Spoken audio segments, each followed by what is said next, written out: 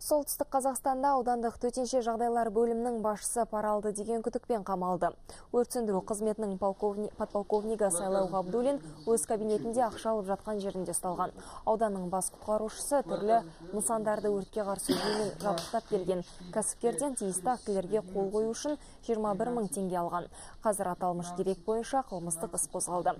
Бөлім басшысы 3-тен 7 жылға дейін бас бостандығынан айырылуы мүмкін.